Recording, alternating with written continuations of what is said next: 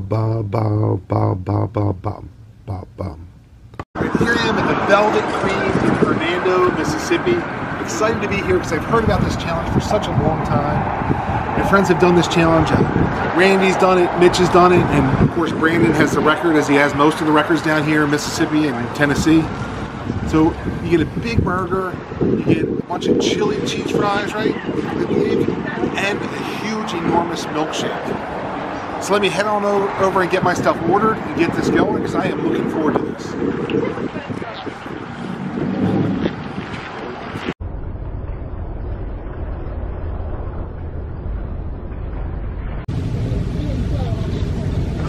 Did you impress you? All right. Do I get dessert? I, I can do it. Say I do it under under 12. So I get dessert? Free of ice cream? Oh, that's worth it. Under 12, I got to go for that. All right, thank you. So here I am at the Velvet Cream. I got the food out. It looks incredible. There is so much bacon on here. There's six slices of big slices of bacon on the, the cheese fries, tons on the on this big monster burger huge banana milkshake. I love banana milkshakes. Now, I don't even know what I'm doing here today because it's all day to eat this. I don't want to eat it all day. I'm trying to eat it quick. But we have Mitch's time to beat, Randy's time to beat. I have a side bet with one of the employees at 12 minutes on this. I have Brandon's record of what, 5? 42. 542. I don't know. I'm just trying to get this down quick. But uh, I think the most important is that 12 minute bet because if I had to fly home the whole plane ride home, I'll be upset if I lose this bet. So I'm going to dig in here. I'm ready to go. You have you have who's you have, you have your timer, or does anybody have a timer? Um, have a timer oh, it? it doesn't. As long as somebody has a timer. So as soon as I start eating. Yep. Okay. Start moving. I'll, I'll start it. All right. Here we go. Hey guys, here I am at Velvet Cream, also known as the Dip. This is actually the second challenge of the day for me. Brandon and Tosha just took me to El Agave, where I set the five pound burrito record, and less than 10 miles away is Velvet Cream. So we're here next. You can tell there's a lot of snow in the ground here. It's starting to warm up in Mississippi, but it's not there yet. So it's actually a little bit cold. It's still good. But a little bit chilly to be sitting outside in a short sleeve shirt, eating a food challenge, especially one with a large milkshake. And this challenge is not for the faint of heart. It's a two pound burger, so it's basically four big patties, tons of cheese on it, and bacon.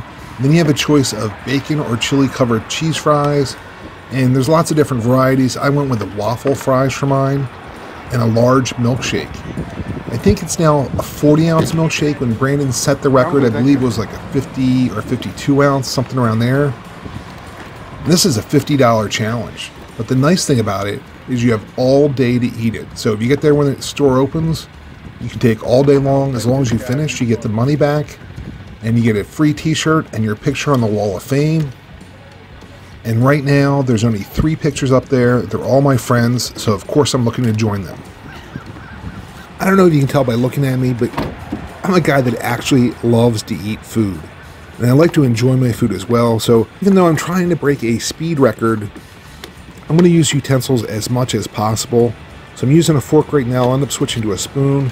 But I'm not using my fingers to pick up cheese fries because I wouldn't normally do that at home.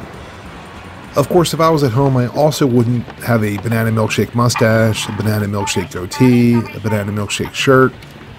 Let's just pretend we don't see that for right now. As they finish up these fries, you can see people sitting in cars watching me. There's a guy in a white van behind me, as well as some other people around. They were very supportive of me, but it was just too cold for them to eat ice cream and stay outside. On behalf, though, he just ate a five pound burrito at El Agave. Well, those fries are good. wow, huge burger. Of course, it always helps to have the best hype man in the business working the crowd for you, and Brandon has them all going. So this is a really fun event, even though it was just a little bit strange sitting outside uh, with the temperature doing the challenge like this. This first half of the burger seemed to go kind of slow. That bacon was hard to get through. I think it's much easier to eat ground meat than it is to eat like sliced meat like this. But I felt like my time was going pretty good. I wasn't sure the exact time, but I think I have a good shot of beating Brandon's time, but I know I'm way under the 12 minute pace. Luckily, the burger had cooled off tremendously, so it was actually kind of cold by this point, and it, it helped when you're going from the really cold milkshake to a cold burger. I think was much easier than going to a hot burger. So, in some ways, it kind of benefited me from sitting outside at this temperature, but regardless, that milkshake was still pretty cold to drink. yeah, I was definitely fighting off brain freeze in a couple of spots here. Uh, that was a little bit of a challenge, but luckily I love banana milkshakes. I almost never get them, so the flavor was incredible, made it so much easier to eat.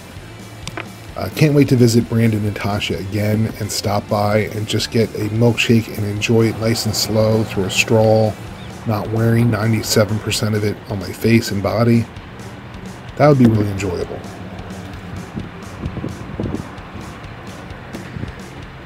They finished up this burger. I'm happy because I know I'm going to be under 12 minutes, and you can see how the wind was blowing. So it was a little cold. I just had about maybe half of a milkshake to finish, and the milkshake did melt a little bit. So I'm able to swallow it pretty quickly. I just had to fight off the brain freeze. Normally, when I'm doing one of these challenges, I try to tune out everything and just focus on what I'm trying to do. But I did hear Tosha say 4 minutes and 30 seconds. So now I'm thinking, might as well try to get under 5 minutes.